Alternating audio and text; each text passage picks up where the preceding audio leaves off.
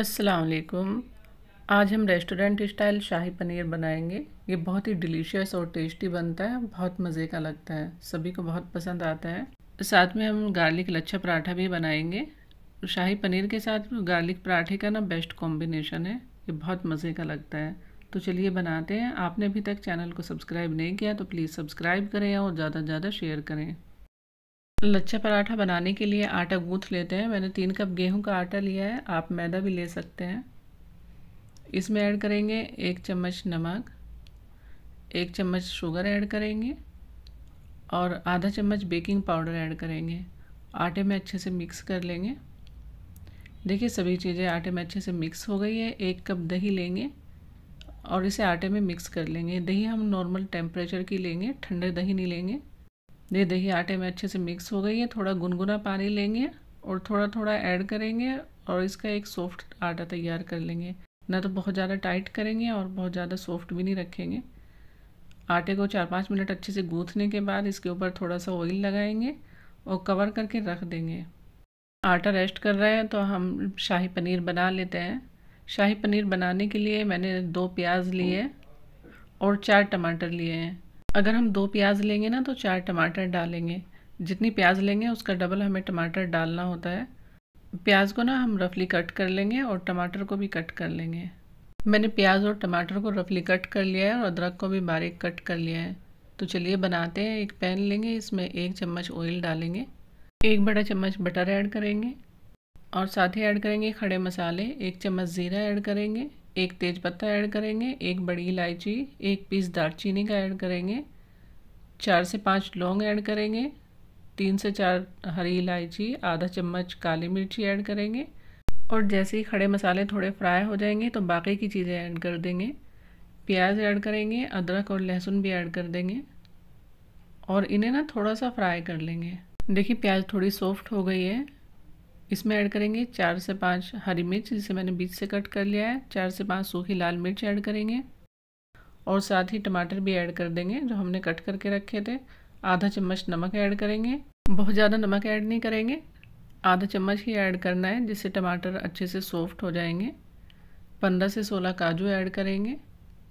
अच्छे से मिक्स करेंगे और कवर करके पाँच से छः मिनट तक पकाएँगे। या जब तक पकाएँगे, जब तक टमाटर अच्छे से सॉफ्ट ना हो जाए। देखिए, सात से आठ मिनट हो गए हैं, खोल के देख लेते हैं। टमाटर अच्छे से सॉफ्ट हो गए हैं। देखिए, अच्छे से मैश हो रहे हैं, फ्लेम को ऑफ़ करेंगे और इसे ना ठंडा कर लेंगे। देखिए, हमारा मिक्सर ठंडा हो गया है। इसे हम ग्राइंड करेंगे। एक ग्राइंडिंग जार लेंगे और पूरे को उसमें ट्रांसफ़र कर लेंगे। दो से तीन चम्मच पानी ऐड करेंगे, बहुत ज़्यादा पानी ऐड नहीं करेंगे और इसका एक स्मूथ पेस्ट बना लेंगे। देखिए ग्राइंड हो गया है। मैं आपको दिखा देती हूँ कितना स्मूथ पेस्ट बना है। ऐसा ही हमें चाहिए था। तो चलिए बना लेते हैं। एक पैन लेंगे, इसमें ऐड करेंगे एक चम्मच ऑयल और एक बड़ा चम्मच बटर या घी ऐड करेंगे।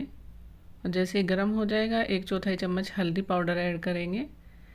एक बड़ा चम्मच कश्मीरी लाल मिर्ची ऐड करेंगे। इससे ना कलर बहुत अच्छा आएगा। फ्लेम को एकदम लो रखेंगे। दो से तीन हरी मिर्ची ऐड करेंगे, जिसे मैंने बीच से कट कर लिया है। और साथ ही ऐड करेंगे टमाटर और प्याज का पेस्ट जो हमने अभी तैयार करके रखा था। वो चलाते हुए अच्छे से मिक्स करेंगे। और आधा कप पानी ऐड करेंगे। मैंने जार में पानी डाल के ना उसे अच्छे से घुमा के उसी में डाल दिया है, जिससे हमारा पेस्ट वेस्ट नहीं होगा। देखिए, इसमें बॉईल आने लगा है। कवर करके पकाएँगे, नहीं तो सारे में छींटे छींटे उड़ेंगे। बहुत ज़्यादा उड़ता है। ये तीन से चार मिनट हो गई है, खोल लेते हैं। और इसमें ना बीच बीच में चलाते रहेंगे। कहीं नीचे ना लग जाए। इसमें ऐड करेंगे आधा चम्मच नमक। आधा चम्मच नमक हमने पहले भी ऐड किया था और आधा चम्मच चीनी ऐड करेंगे। चीनी से ये बिल्कुल भी मीठा नहीं होगा, इसका टेस्ट बढ़ जाएगा। आधा चम्मच गरम मसाला ऐड करेंगे। एक चम्मच कसूरी मेथी ऐड करेंगे, जिसे मैंने रोस्ट कर लिया था। मिक्स करेंगे। मैंने 400 ग्राम पनीर लेके उसे कट कर लिया है। ये ऐड करेंगे। पूरा पनीर ऐड कर देंगे और हल्के हाथों से मिक्स करेंगे। आप ना पनीर को फ्राई भी कर सकते हैं। मुझे ऐसी पसंद है तो मैं ऐसे ही ऐड कर रही हूँ। बारीक कटा हरा धनिया ऐड करेंगे। मिक्स करेंगे और कवर करके दो मिनट तक और पकाएँगे। फ्लेम को लो रखेंगे। बहुत ज़्यादा पकाने की ज़रूरत नहीं है। ग्रेवी हमारी तैयार है। थोड़ा सा पकाने से ना पनीर के अंदर ग्रेवी का फ्लेवर आ जाएगा। इसका टेस्ट बढ़ जाएगा। देखिए, दो मिनट हो गई है, खोल लेते हैं। माशाल्लाह, हमारा बहुत ही टेस्टी शाही पनीर बना था। ऊपर से डालेंगे क्रीम ये ऑप्शनल है, अगर आपको नहीं पसंद है तो आप इसकी भी कर सकते हैं, मगर इसे ना ग्रेवी का टेक्सचर एकदम चेंज हो जाता है, बहुत टेस्टी लगती है।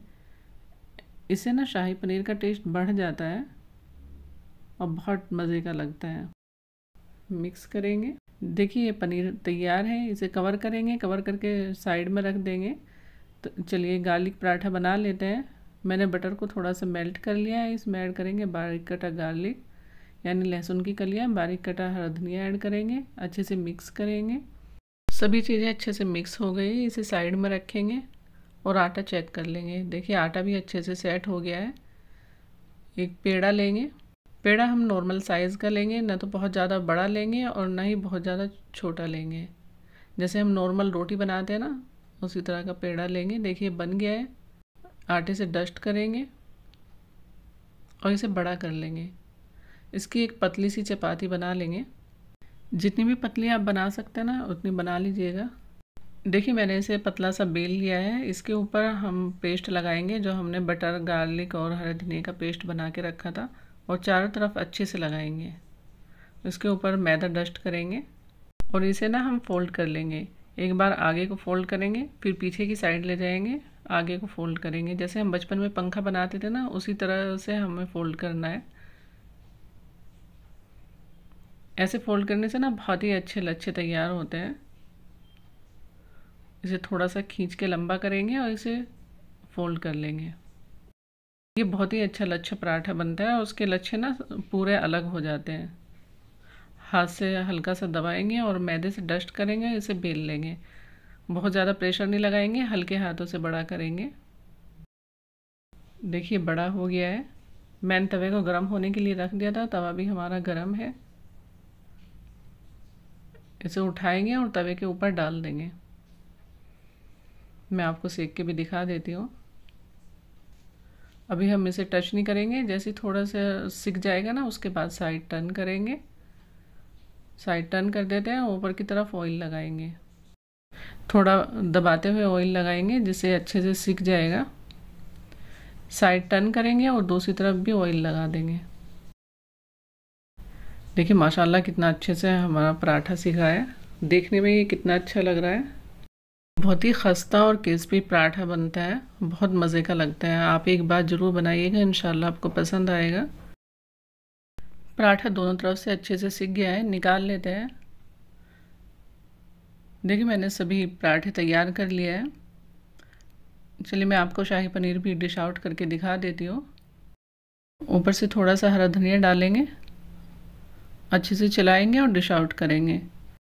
ये बहुत ही मज़े का शाही पनीर और गार्लिक पराठा बनता है। आप एक बार ज़रूर बनाइएगा इन आपकी फैमिली को पसंद आएगा।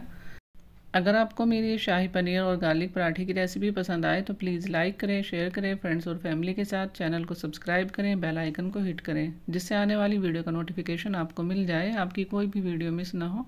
अल्लाह हाफिज़।